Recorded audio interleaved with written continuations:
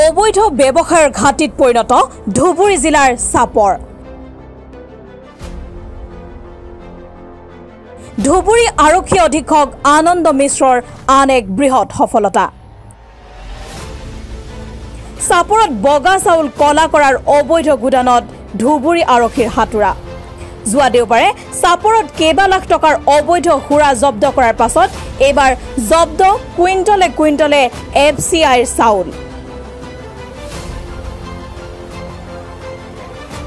ধুবুৰীৰ চাপৰত চলিছে বগা চাউলৰ কলা বেহা।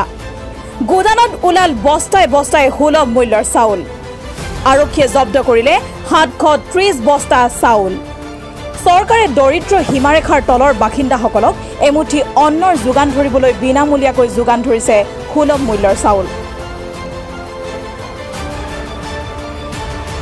কিন্তু দুখীয়া ৰাইজৰ মুখৰ ভাত কাঢ়ি একাংশই গঢ়িছে সম্পত্তিৰ পাহাৰ। নামনি অসমৰ বিভিন্ন সমবায় সমিতিয়ে চোৰাংভাৱে বিক্ৰী কৰে চৰকাৰী চাউল।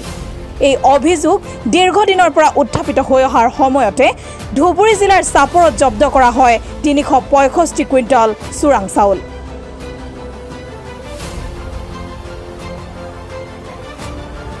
এক গোপন সূত্ৰৰ ভিত্তিত আৰক্ষীয়ে চাপৰ নগৰৰ দুই নং ৱাৰ্ডত অভিযান চলাই এটা গোদানৰ পৰা জব্দ কৰে তিনিশ পঁয়ষষ্ঠি কুইণ্টল চৰকাৰী চাউল।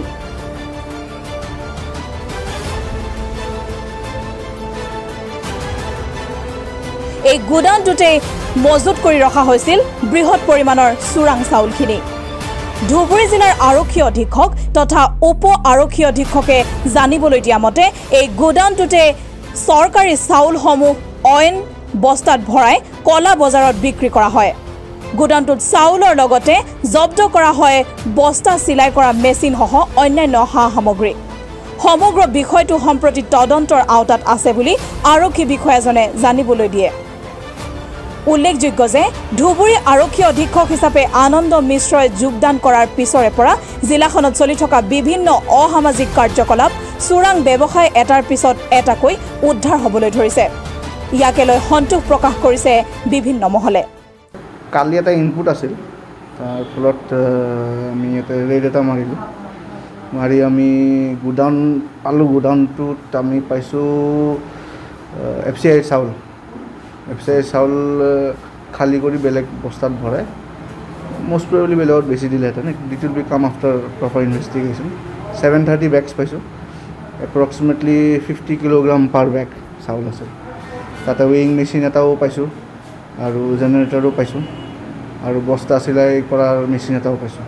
কাউণ্টটো আফটাৰ ইনভেষ্টিগেশ্যন মই এফ আই আৰটো লজ হোৱাৰ পিছত আমাৰ আই অ' দিয়া হৈছে চি আই চাপৰক।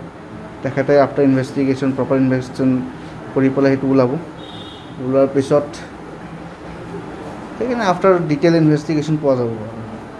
সেইটো ক'ব নোৱাৰোঁ it will come after proper investigation কিন্তু ইয়াৰ পৰা তকৰিবান দুই কিলোমিটাৰমান দূৰত আপোনাৰ তাতে গোডাউনটো অৱস্থিত আছিল। তাতে পোৱা গৈছে বস্তুখিনি। ইনভেষ্টিগেশ্যন আমাৰ আয়োজনে ক'ব পাৰিব আফটাৰ ইনভেষ্টিগেশ্যন বৰ্তমান স্থিতিত চিজাৰ টিজাৰ হ'ল এফ আই আৰ লজ হ'ল কেছ ৰেজিষ্টাৰ হৈছে। আৰু আমাৰ চি আই চাপৰক কেছটো দিয়া হৈছে চাব ইনস্পেক্টৰ তেখেতৰ আমাৰ চুৰিৰ কেছ আৰু section seven essential commodities act লাগিছে। সেইটোতো ক'ব নোৱাৰি কিন্তু আমি যেতিয়াই খবৰ পাওঁ আমাৰ এছ পি মাননীয় আনন্দ মিশ্ৰা ছাৰৰ নেতৃত্বত আমি য'তেই খবৰ পাইছোঁ যোন থানা আণ্ডাৰতে খবৰ পাইছোঁ চাপৰ বুলিয়ে নহয় যোন থানা আণ্ডাৰতে খবৰ পাইছোঁ আমি একশ্যন কৰিছোঁ ৰেড লৈছোঁ আপুনি ৰিচেণ্টলি ধুবুৰী গোলকগঞ্জ গৌৰীপুৰ চব জেগাতে হৈছে মাননীয় S P sir Anand Mishra ছাৰৰ নেতৃত্বত। সেইকাৰণে এইটো আমি ক'ব নোৱাৰোঁ যে চাপৰতে আনৈতিক কাৰ্যকলাপ বেছি বেলেগত কম।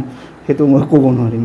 তেখেতে যেতিয়াই ইনপুট পোৱা যায় আমিও যেতিয়া ইনপুট পোৱা যাওঁ তেখেতৰ নেতৃত্বত আমি কৰি পেলাই কৰিছোঁ। Not only in Chapar police station বেলেগ পুলিচ ষ্টেচনবিলাকৰ আণ্ডাৰতো ইনপুট পোৱা কৰিছে আমি ধৰিছোঁ। আৰু এতিয়া অনুমানিক মূল্য ডিউৰিং কোৰ্চ অফ ইনভেষ্টিগেশ্যন আমি ছাপ্লাইৰ দ্বাৰা ভেৰিফাই কৰাৰ পিছত ছাপ্লাই ডিপাৰ্টমেণ্টত তেখেতে ক'ব পাৰিব। আই অ'টোৱে আফটাৰ ইনভেষ্টিগেশ্যন ক'ব পাৰিব ভালকৈ আৰু। এফ আই আৰত কোনো নেম একিউজ নাই। ডিউ কোৰ্চ অফ ইনভেষ্টিগেশ্যন আমি তদন্ত কৰি কাৰ গোডাউন আছিল কি গোডাউন আছিল ক'ৰ পৰা আহিছিল। সেইটো লৈ পেলাই আমি কৰিব পাৰিম। অঁ চাউলখিনিয়ে পাইছোঁ আমি। নাই? নাই আমি মানুহৰ উইটনেছবিলাক বেলেগ জেগাত কাষৰ পৰা আনিছোঁ। দিছ ইজ আৰ উইটনেছ টিটনেছ চাপৰৰ পৰা জাকিউৰ ৰহমানৰ ৰিপৰ্ট অসম টুডে